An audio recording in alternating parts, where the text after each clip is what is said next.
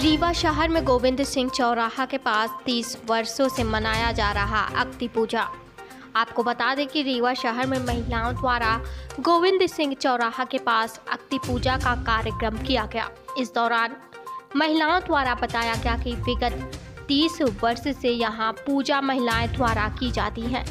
इस पूजा में गुड्डा गुड्डी की शादियों का कार्यक्रम रखा जाता है।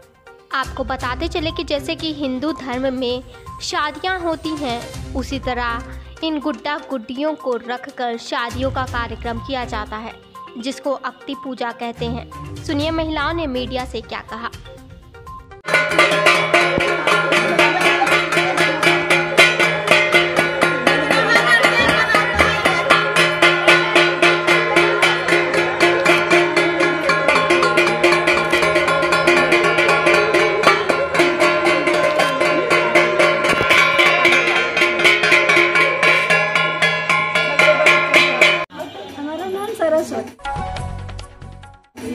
क्या क्या कार्यक्रम होता है आज के दिन? आज के दिन पूजा अक्ति की मतलब गुड्डी गुड्डन की खेल में जैसे बच्चे खेलते हैं उसी तरीके के ये पूजा अर्पित करके वो मनाया जाता है। कि क्या महत्व है इसका? इसका महत्व यह है कि बच्चे को भी मिलता है ये खेल भी हो जाता है एक जानकारी भी हो जाती है और अपने से पूजा भी हो जाती है। कब से हो रहा है ये कार्यक्रम? अरे ये बहुत सालों से हो रहा है। सदियों सदियों बीत गए। हैं कि हाँ अक्ति की पूजा होती है।